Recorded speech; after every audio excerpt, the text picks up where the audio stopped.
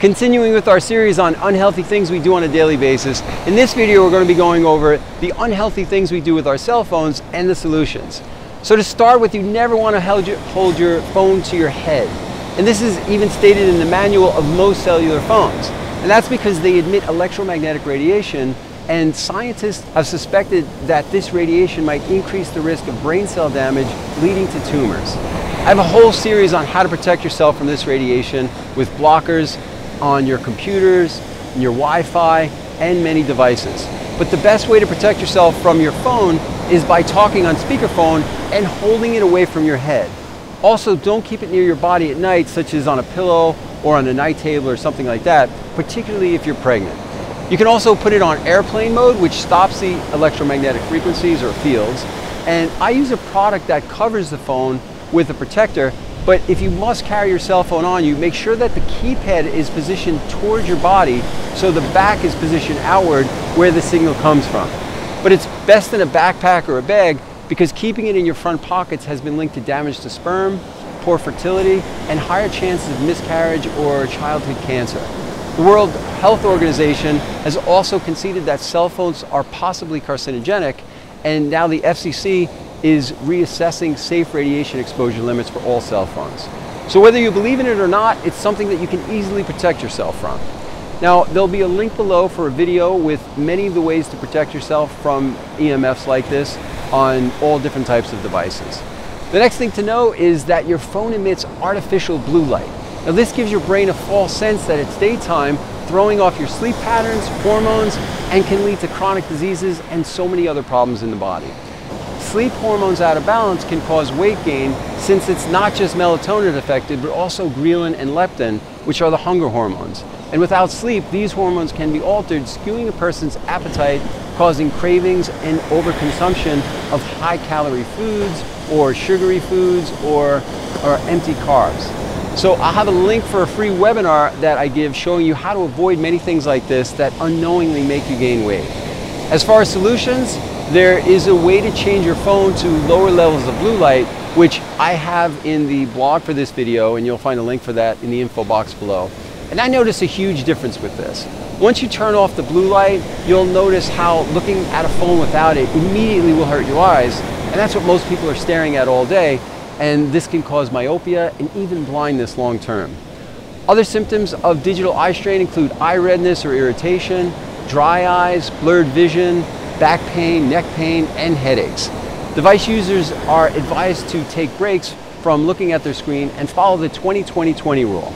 That's taking a 20 second break every 20 minutes using from using any type of electrical device and looking at something that's 20 feet away. The other thing to do is wear blue light blocking glasses and these are said to offer improved sleep patterns, lower risk of many chronic diseases, improved mood, and the primary benefit is to prevent damage to the DHA essential fat in your retina, which converts sunlight to the vital DC electric current that your body needs. The glasses also help your body's production of mitochondria, which is vital for every major health function. They even help with mood enhancement, and in, even in studies with people with bipolar disorder, they're having great results using these. The next thing to avoid with your cell phone is bending over looking at your phone. This is bad for your neck, your back, it can cause headaches, posture problems, and spinal misalignment. Think about how many times a day you check your phone. All that constant tilting down will do this as the weight of your head puts pressure on your neck and your spine, and that can lead to a condition called tech neck. And this is not just with cell phones, as doctors are even seeing this more and more in young children because of handheld games and computers. Now this can have serious repercussions for our spinal cord, so it's important to be aware of. And that's most especially because Americans now spend a staggering eight and a half hours in front of screens all day. So most of us may be well on our way to having this. The biggest thing you can do to combat this is stop looking down and bring your device up to your eye line so it's in front of your face. According to experts, for every inch your head goes in front of your neck, it adds 10 pounds of pressure to your spine. This in turn flattens your cervical and thoracic curves in your spine, and that will not just cause neck pain, but pain throughout your whole back, and also a painful condition called occipital neuralgia, which is caused when the occipital nerves at the base of your neck get compressed from looking down all the time, and that'll cause terrible headaches. So be mindful of your posture. And the next thing to be aware of with your cell phone is germs.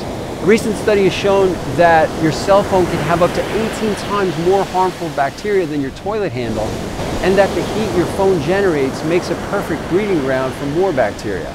Most people cook, go to the bathroom, touch many things in public, and then touch their phone and then put it to their face. And even superbugs and viruses like MRSA have been found on cell phones.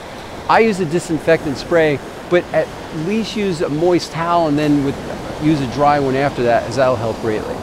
Finally, digital multitasking is becoming a big problem as it might seem effective, but it's making us less focused as a recent Microsoft study showed that the average attention span of the participants was only eight seconds. And a goldfish, by the way, has an attention span of nine seconds. So when we're using our cell phones and devices too much, we could be a second behind that. Now, this will also change the physical structure of your brain, as researchers are, sh are showing that people who engage in higher amounts of multimedia tasking actually have smaller amounts of gray matter, which is linked to decreased cognitive control and emotional regulation. The average young adult spends, sends 109 text messages and checks their phone over 60 times per day. So we need to be more aware of this because it's considered addictive behavior.